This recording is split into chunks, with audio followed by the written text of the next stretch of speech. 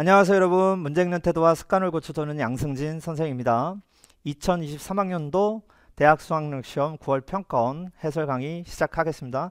자 문제 푸는 거에 앞서 총평 얘기를 먼저 드려볼게요. 네 전체적인 난도는 어, 학생들이 느끼기에는 앞부분 우리가 뭐 이미 예측을 했던 거잖아요. 공통 부분의 무게감이 좀 세다. 어, 대신 선택 과목의 무게감이 매우 약하다 어, 그래서 어, 전체적으로 사실 공통에서의 그런 압박감을 좀 음, 무난히 어, 느꼈던 친구들한테는 되게 쉬운 시험이었고요.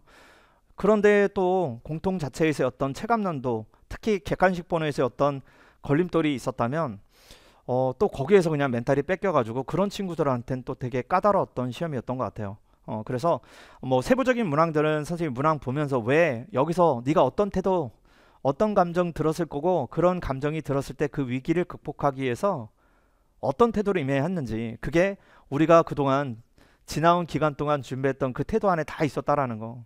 사실 그지? 선생님이 예측했던 복고풍. 그냥 문제가 다 어디서 봤던 느낌이야. 어 여기저기 다 봤던 느낌인데 이상하게 세부적으로 들어가 보면 어 걸려. 덜컥 걸려. 뭐 이런 부분이 좀 셌던 것 같아요. 특히나 아마 어 공통에서 아마 이제 공통해서 이제 선생님이 놓쳐야겠잖아. 요거 요거 요거지 요거.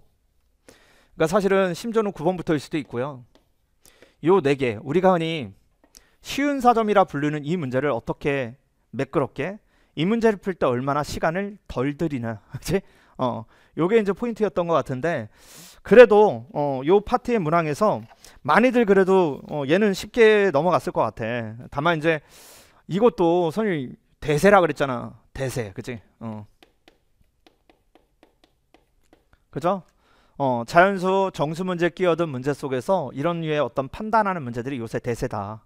그래서 그거를 이제 또 거듭 제곱근에 대한 개념으로 물은 거죠. 계산이 없어요. 그런데 묻는 걸 방식을 이렇게 달리하니까 뭔가 달라 보이는 거야. 그래서 그 포장의 기술을 독해하지 못했다면 여기서 이제 무너진 애들 일단 나오는 거죠. 그죠? 어. 어, 거기서 소수, 소수 애들이 나왔을 것 같고 그 다음에 12번.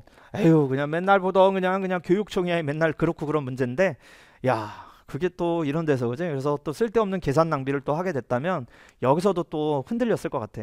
계산 때문에 사실 아무것도 아닌데. 그럼에도 불구하고 대다수는 이제 12번까지는 어 왜 이래? 구평이 왜 이래? 그래서 어, 기분이 갑자기 좋아져. 그랬을 거야. 그리고 이제 뭐야? 드디어. 어, 이번 시험에 이제 사실 핵심이 요 13번 문제에 있었던 것 같아요. 음. 13번 문제에서 사실 시행착오를 겪는 친구들이 좀 많았을 거라는 거. 어, 뻔하디 뻔한 사인 법칙, 코사인 법칙을 하는 도형의 상감 사료인데 선생님 놓쳐야겠잖아. 도형은요. 그냥 시험장에 가면 다 낯설어. 그러니까 처음부터 내가 어디를 어디를 먼저 해야 될지 이런 걸 파악을 못하고 그런데 또한 어, 대화를 통해서 이게 당연한 거야 이런 걸 당연히 해야 된다 어떤 대화를 안 하고 가게 됐을 때 시행착오를 그지 여기서 엄청난 시간 그지 어, 시행착오를 겪게 돼 있다는 얘기야. 그거를 극복하려면 어떻게 해야 될까? 그걸 선생님이 누차 강조했던 거고 그래서 선생님 해설 강의를 들어보라는 얘기야. 얼마나 좋은 문제인지 얼마나 좋은 문제인지 어 근데 우리가 보통 이 문제를 욕하게 돼 있다라는 거죠. 어 그래서 이 분위기 있잖아. 처음에 잘 안 풀리잖아. 패스해야지.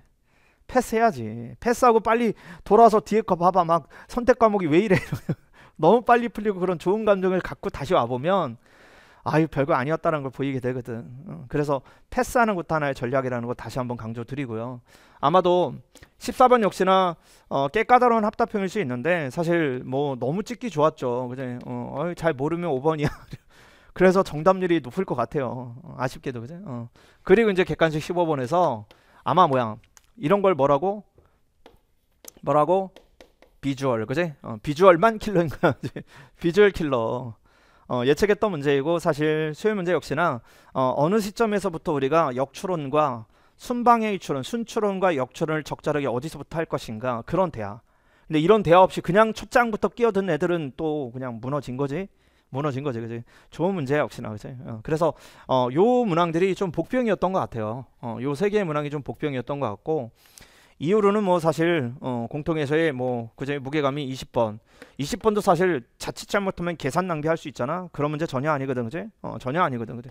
깔끔함이 돋보였던 문제이고 누가 더 관찰 잘하는가? 어, 그게 이제 역시나 어, 주요했던 문항이고요. 아마 21번에서도 또 한번 무너졌을 거야. 그래서 요 문항들이 지금 복병일 것 같아. 사실 22번이 오히려 오히려 만만해 보였을 수도 있어요. 근데 21번이 안 풀리는데 22번 푸는 애들은 많지 않잖아요. 그러다 보니까 22번 자체를 사실은 21번에 매여 있다가 이거 그냥 뻔한 문제거든. 맨날 보던 문제인데 안 풀려 이런 거야.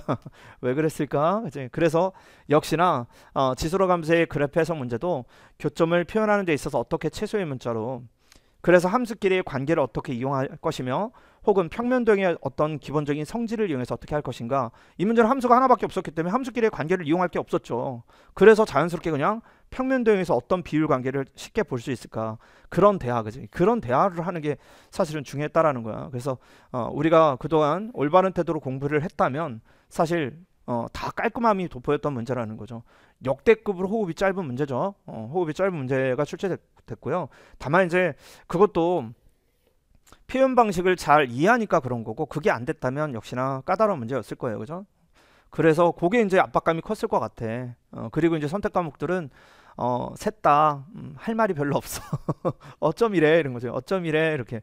어, 그래서 예측된 거예요. 이제 선택 과목은 이제 가볍게 가는 추세이고 결국 이제 공통의 무게감을 가지고 결국은 공평한 시험 속에서 어떤 난도를 조절하겠다. 뭐 그런 의지가 좀 돋보였던 시험이라고 보시면 될 것 같습니다.